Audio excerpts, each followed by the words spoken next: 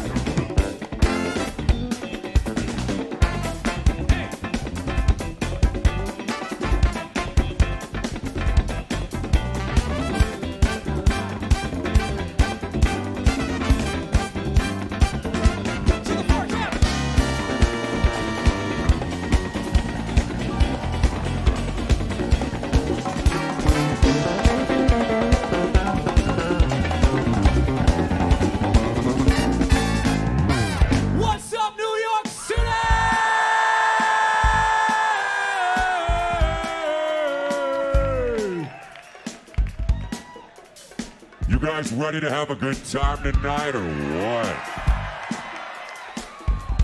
Hey, those of you joining us on the internet, thank you to Relix for hosting us this evening.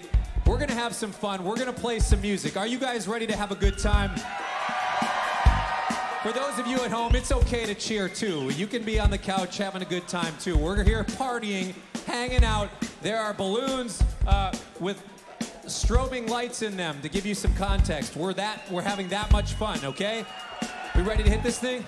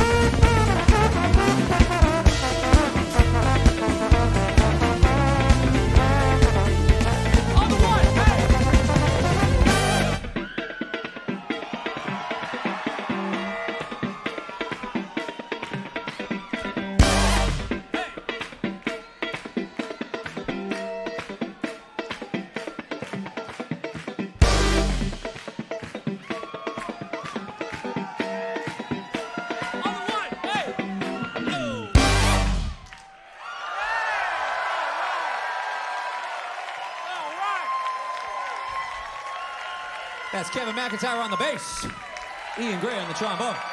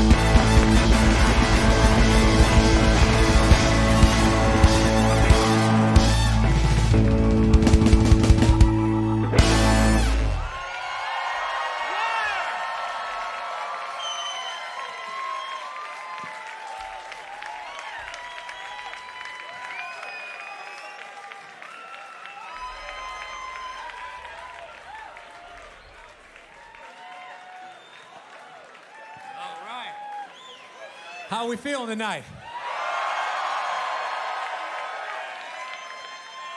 Okay, okay. We're feeling good. We have a special guest, a good friend of mine. Uh, who I just, uh, we had been uh, interacting over the internet for about a year, wondering, hey, we should uh, play some music together. And uh, I'm a big fan of what she does, and she said she was a big fan of what I do. And uh, just uh, a few weeks ago, we recorded together for a new Fearless Flyers record.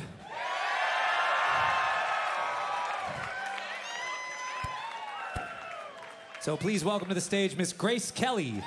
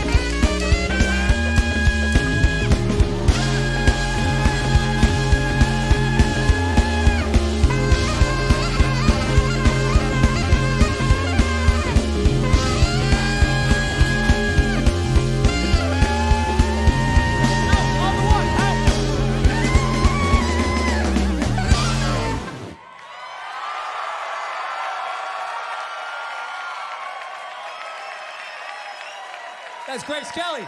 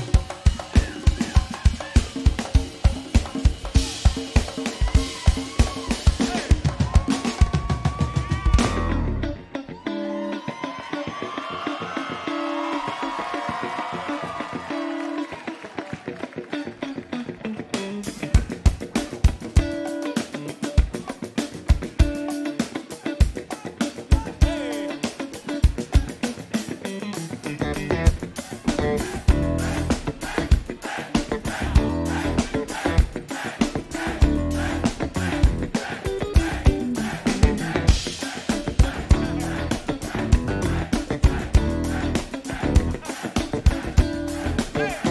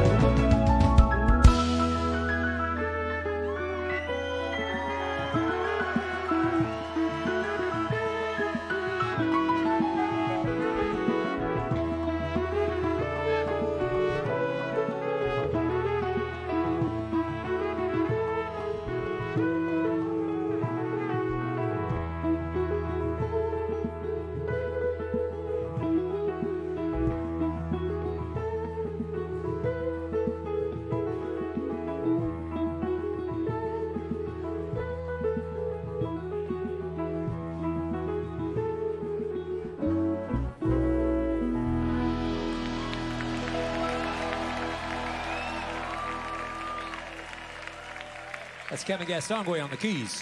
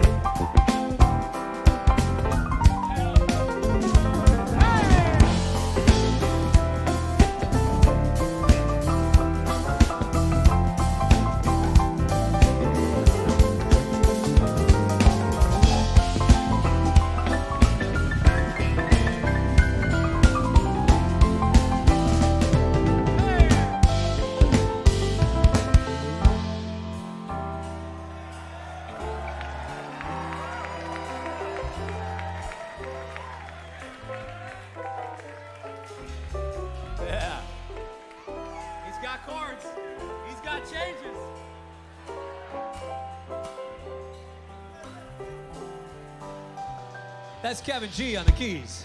Kevin Gaston.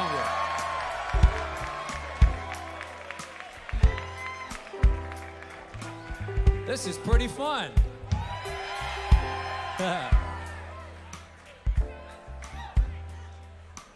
now, as we were leading up to this show, uh, I did the thing that I always do, and I try to do a little reconnaissance and find out who's going to be at the show.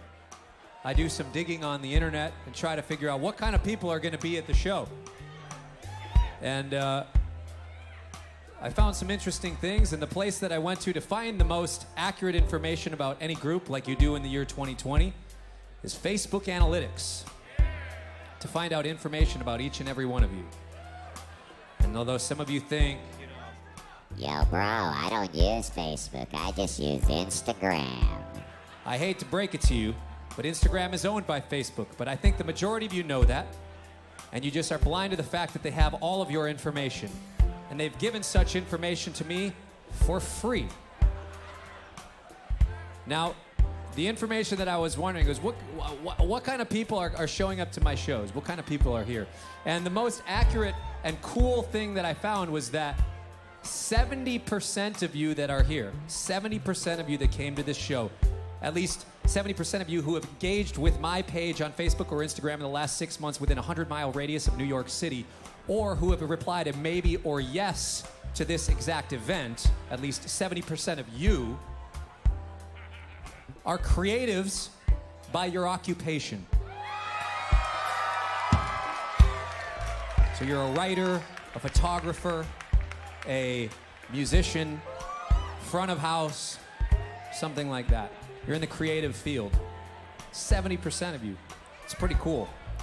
And to the other 30% of you, for those of you that are, in the other 30% that aren't in an occupation that is typically known as a creative uh, occupation, you are no less creative than the other 70% of us. Okay?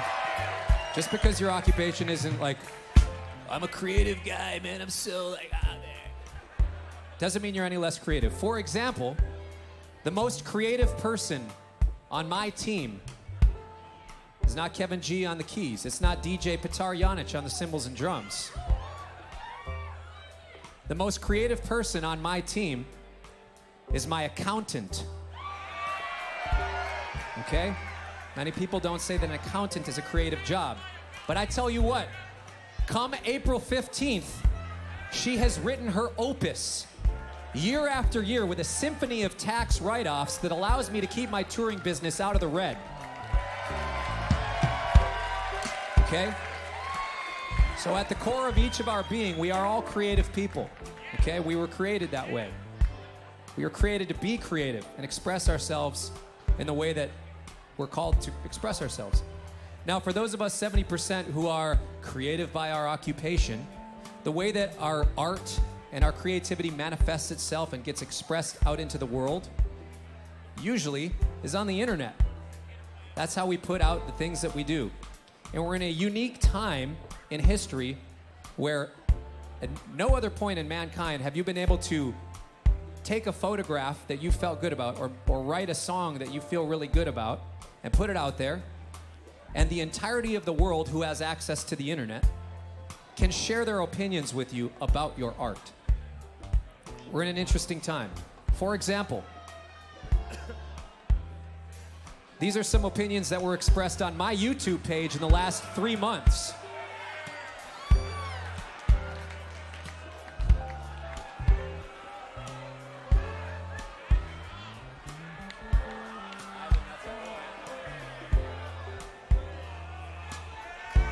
Hey, we were, we were supposed to blur out their names. Well, the hits just keep coming, guys. now, because 70% of you are putting yourselves out there, I feel uh, a small urge, a message in me to share with you, not because I know everything, but because I'm the one in the room with the microphone you're all looking at. But uh, the message that I keep hearing, that I keep wanting to express to those of you that are out there, is that no matter what you do with your art, the photos you take, the music you make, the drawings that you do, whether you have 100 followers or 100 likes or 1,000 followers or 141,000 followers on your social media account, it is not going to be the thing in life that fulfills you. It is not going to give, it's not going to be the thing that's going to give you meaning in your life. And I think the most important thing is that whatever it is that you're making, whatever it is that you're expressing, is a true and honest expression and fingerprint of who you are, whether it be who you are today or what you are in your artistic self today, but part of your, you know, part of who you are and part of your story. And what's important is that we're just all trying to make honest art and honest music that expresses who we are. And I want to encourage 70% of you to continue doing that and not worry about what other people have to say about it, okay? And to 100% of you, to 100% of you in the audience, I have one message, and that's this Don't be a jerk on the internet. Okay? She's posting conga videos, and she doesn't need to hear your opinion on it. It's like, Oh, bro, she's totally rushing the end of four. Oh my gosh. okay, if you don't like the new Weezer record, listen to the Blue album. That's okay. I think they're still making good art, okay? But you don't need to hate on them for it, okay? It's fine. So I think we can all just get along, okay? My suggestion as a good place to start would be the expose we call Some Kind of Monster about Metallica. Petar's been watching it every day in the van.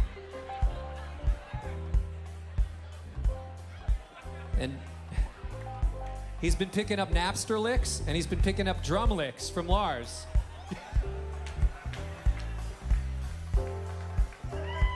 let's let's see what you got. Let's I want you to express your honest and true self. I want you to express your true self. That's a mighty bass sound you got there.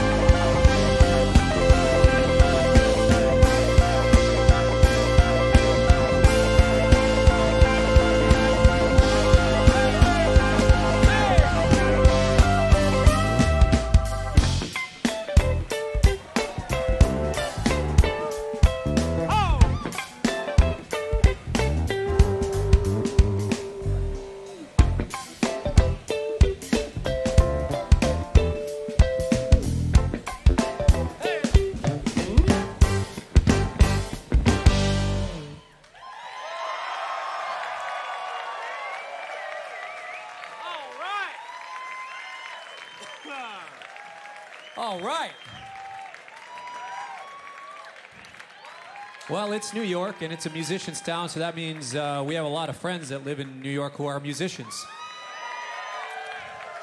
And uh, one of those friends is here who's going to join us on this tune. Please welcome to the stage the incredibly talented Louis Cato.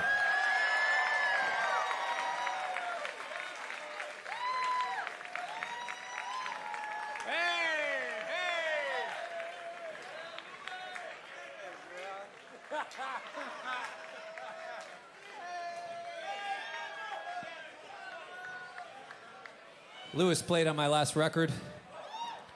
Uh, we did a session over at Sear Sound Studio up in Manhattan.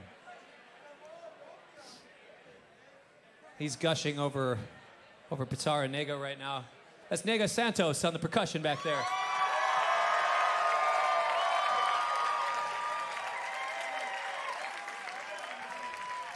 What's that? it's Nam. this cat brought his own in ears for the sit in. I like that, man. I like that. I didn't tell you what song either. Let's do St. Paul. Yeah, yeah. Hey,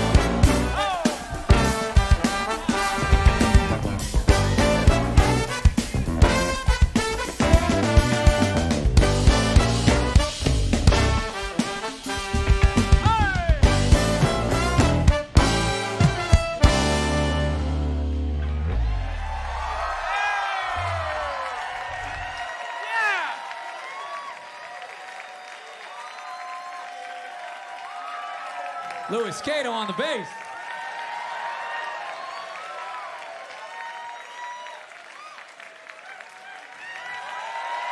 Those tight, stubby quarters. Dum, dum,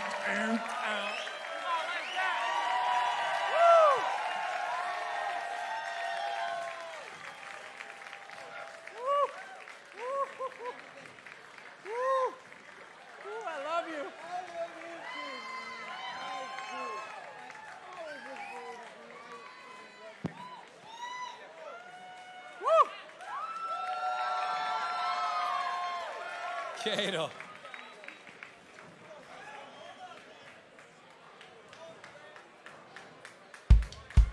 Ooh, I like that, yeah.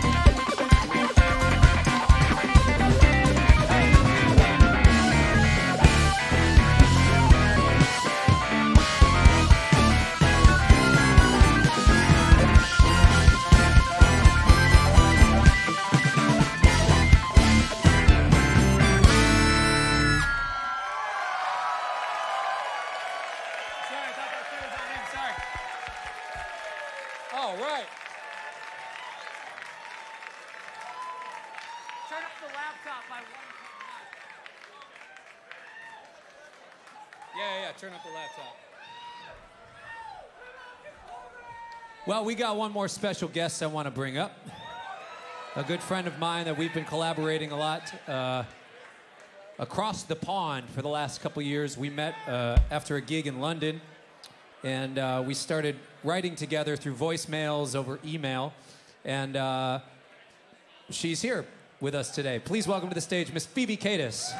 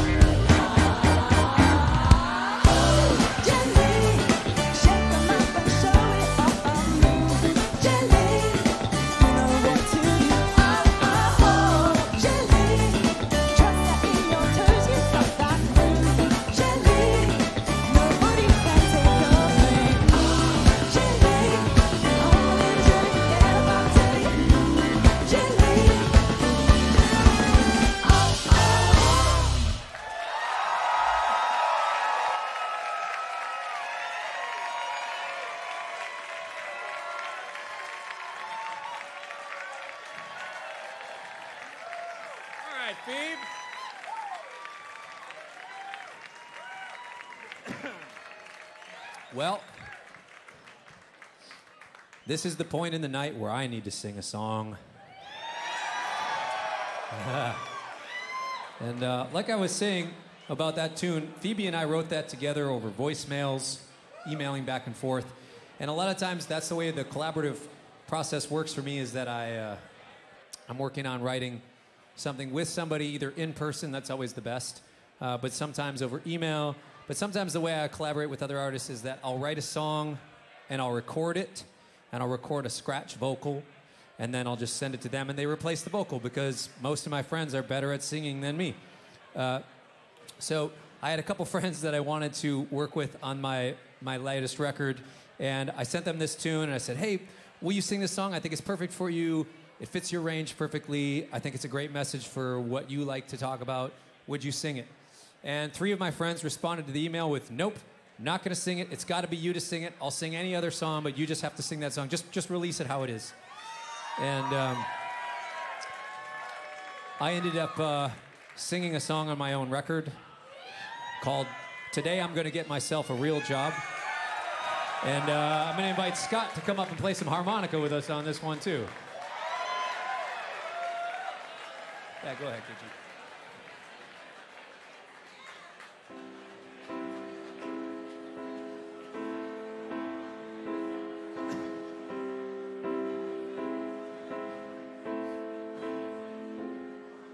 Today I'm gonna get myself a real job. It's time to be a standard working man. Oh, this music thing's been fun, but I think that I am done. Hmm. Today I'm gonna get myself a real job. I'm contemplating getting on the payroll. No stress about what other people think. No ticket sales, no critics, or Spotify statistics. Ugh. Today I'm gonna get myself a real job. Now my insecurity got the best part of me. I'm gonna quit guitar and get a real job.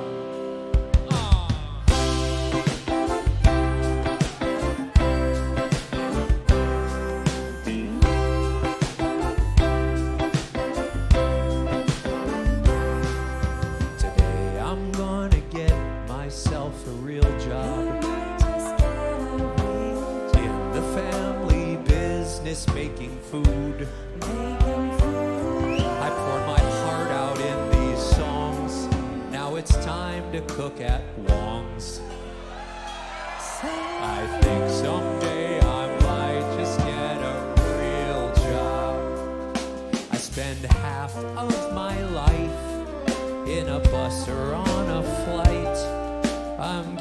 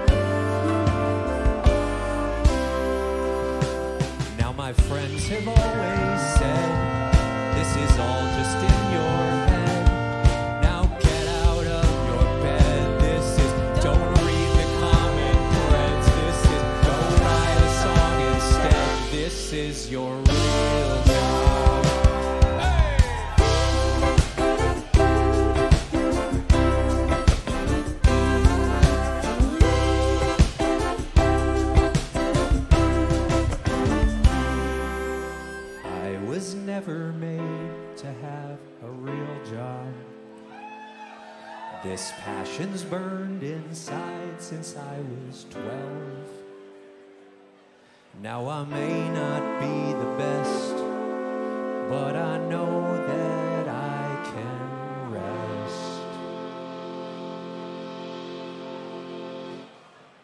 Knowing today that I don't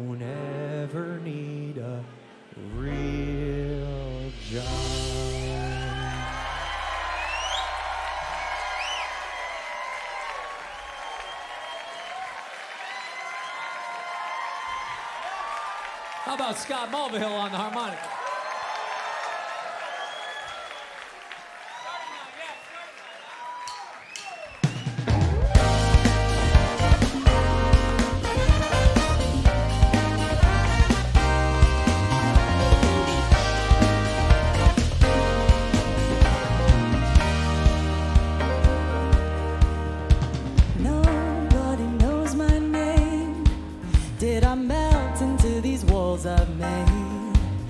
I did everything I thought was right.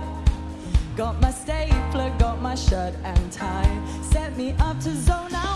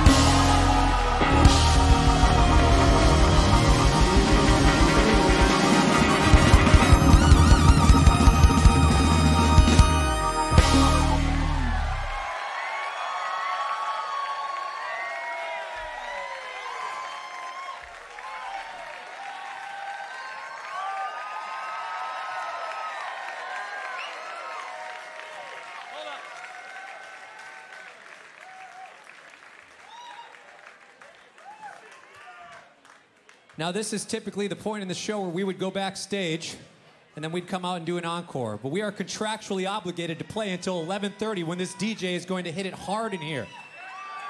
So we have 20 more minutes of music. If you want to leave, you can leave. No press. The show can be officially over at this point if you'd like it to be. You have our permission to leave.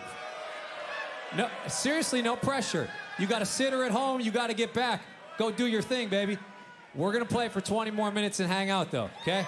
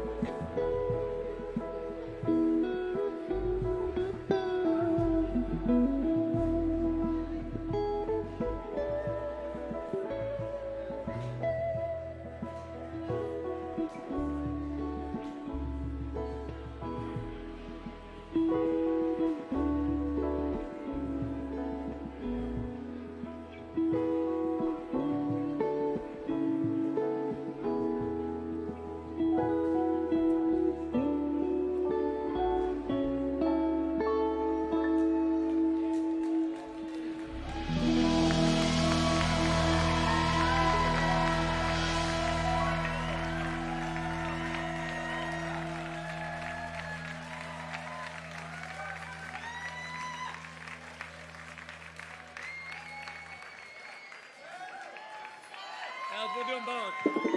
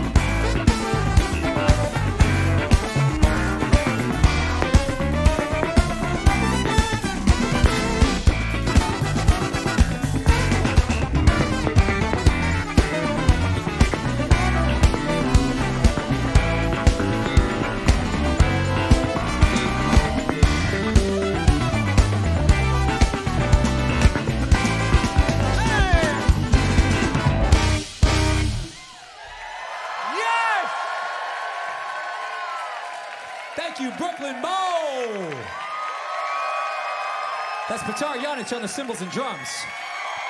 They call him Sweet Kevin McIntyre on the bass. That's Negah Santos on the percussion. Sammy Greenfield on the sax. Ian Gray. Matt Salazar. Kevin Gastonguay. That's Jake Hartsfield back there on the faders. Thank you guys so much for hanging out. What a fun time. Wow, this is really fun. Thank you guys so much for being here. We'll see you next time. Yeah, thank you. Hit it, DJ.